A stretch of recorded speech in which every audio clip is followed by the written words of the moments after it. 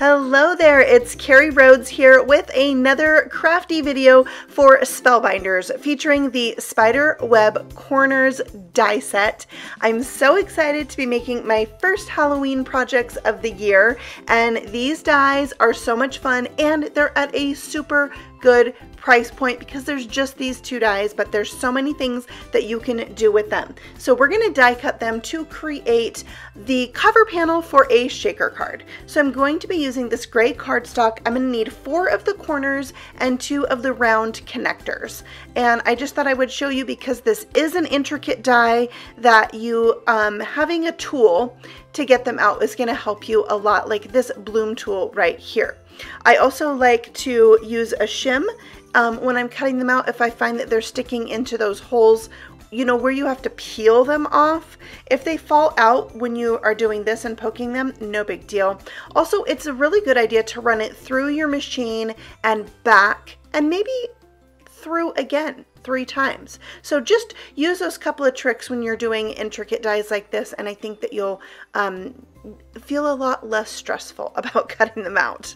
All right, so these hook together at the little diamonds on the ends. You want to put an open piece with a closed piece when connecting them.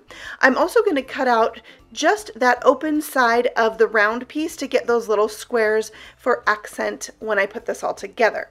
I have a piece of vellum that I'm cutting out the center with an oval die and this is the panel that I'm going to glue my frame onto. So once I got that all centered I ran it through my die machine and then I have a nice opening for my shaker card.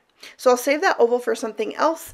And then the other piece I'm going to need is the backer to my shaker card. So I am taking a piece of whipped cream cardstock and putting Distress Oxide over that in black soot. Now I don't want this to be perfect. I'm not going for like a really good blend. I even like that there's some lighter areas on this.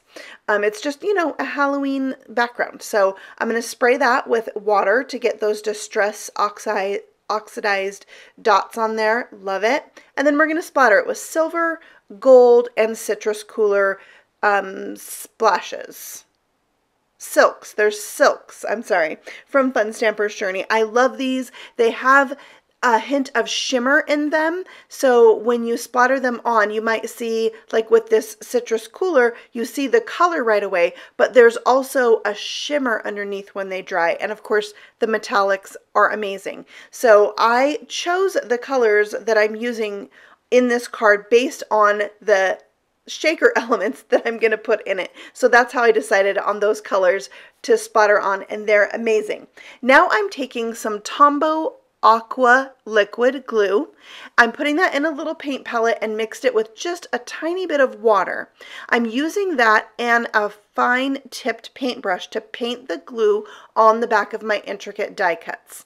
Then I can lay that on my vellum and I'll use a heavy block to help me hold that in place and dry while I do the next piece. So I did all four of the corners and then I did the two side connector pieces.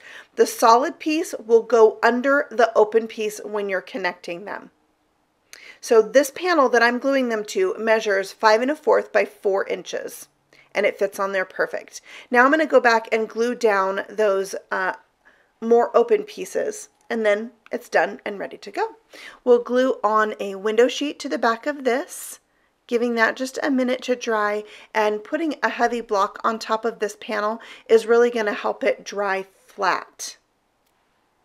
All right, then we can add in those gold accent pieces. Aren't those awesome? So you'll need six of these pieces to create this card. Now, if you wanted to do a square card, you could put the four corners together and leave out the round connector pieces. So there's another option for you. If you like this kind of cornery um, die set, Spellbinders had another one that was super cool. I'll link my videos to that one um, at the end of the video so you can check those out.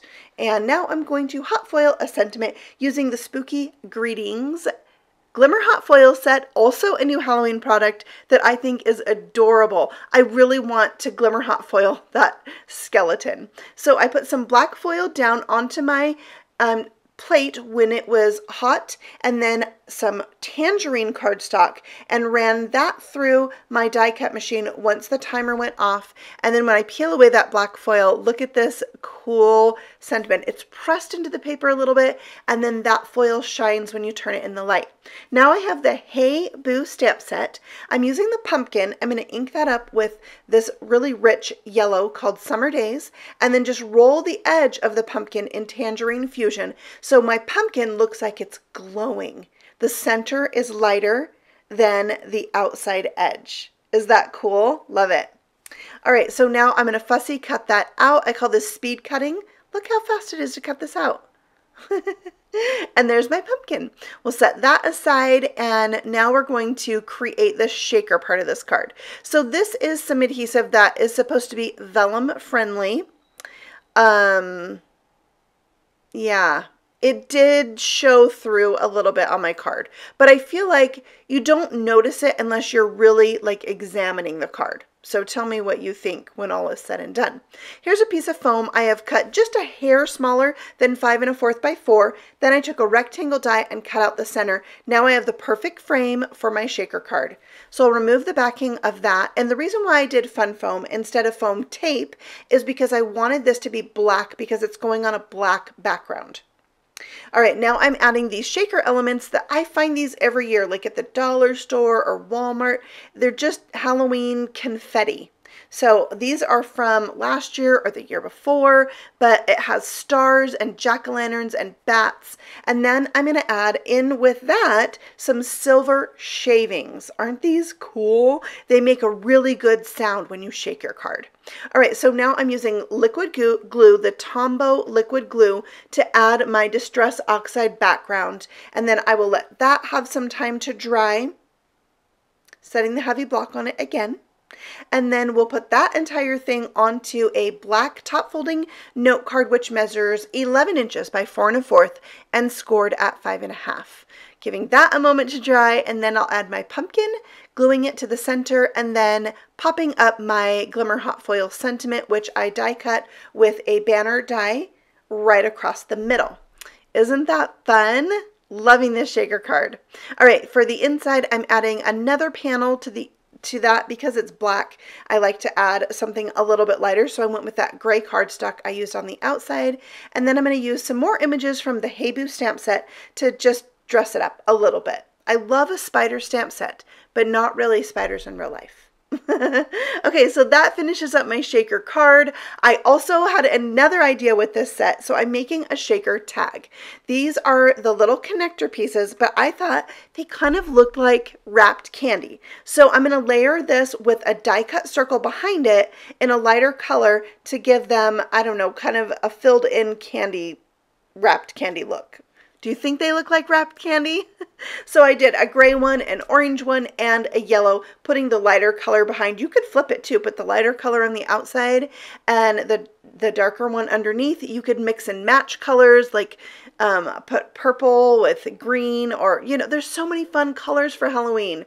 Now I have the special day tag die set. I use this die set a lot. I love this tag right here because I can layer the rectangle die in the center of it and create a frame just like this. And that rectangle um, has a pierced edge, but I'll save that for later. Now I'm going to use just the tag to die cut um, a background that I made the same way as I did the one for my card. I also die cut another tag from um, some window sheet and I'll glue that to the back of my frame. Let that dry. And then I did Glimmer Hot Foil a sentiment from that same set, the Spooky Greetings, that says Booyah with tangerine foil on black paper. It's a little crooked, but I didn't mind it for some reason.